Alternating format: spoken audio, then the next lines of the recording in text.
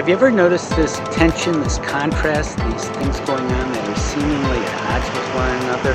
What I'm talking about that's affecting all of our lives is this, this wonderful breakthroughs in science and technology and medicine, yet, yet tremendous rise in mental health challenges and accompanying physical health. We're talking about burnout, uh, anxiety, depression, and more.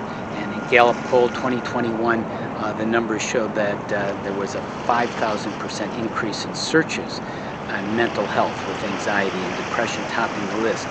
So what do we do with these insoluble problems? Uh, well, um, there's a lot of external things happening here, and, and, and pandemic doesn't help, but there's climate crisis and growing divides socially and culturally and racially and much more. Uh, these wicked problems, there, there must be some way, and there is, because the truth is within.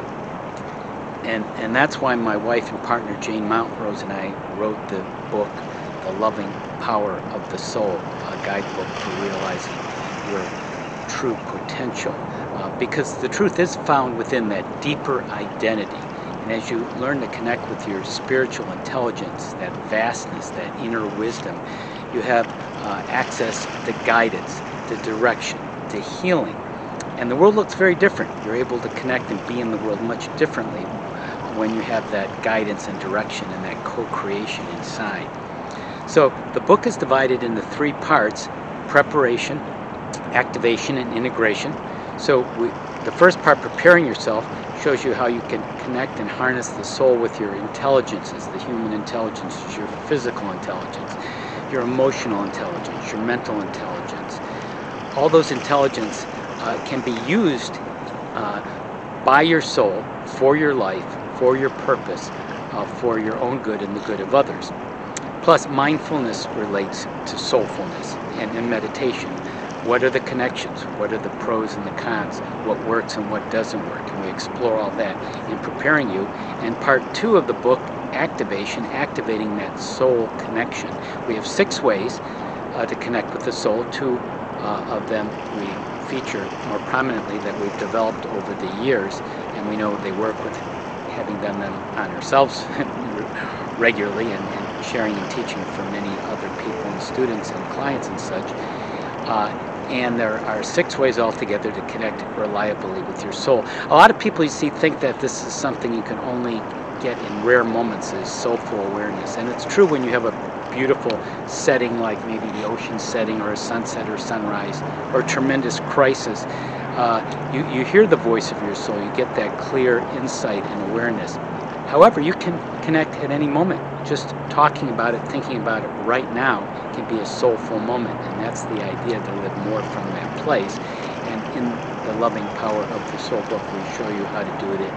It explores some knowledge, tips, tools, exercises. There's a lot of real life examples in it as well and again these processes and how to directly and easily connect with your soul. And the third part of the book, after preparation and activation, um, is integration. How do you integrate the soul into your life? And that means healing the shadows, the blocks, the fears, the doubts, the things that are in the way uh, that prevent you from truly being here. In fact, those blocks can be resources.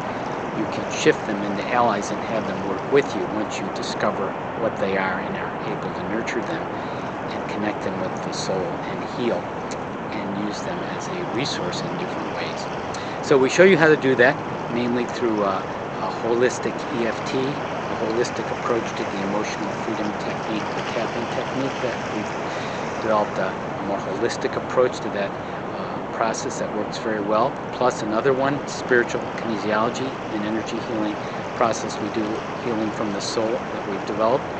Uh, so we explore those ways to uh, integrate and clear the blocks. So the preparing, activating, and integrating. I think if you uh, read the book, you'll find it easy to read, a very valuable resource to help you live more fully, to help yourself and others, and make this a better world. thank you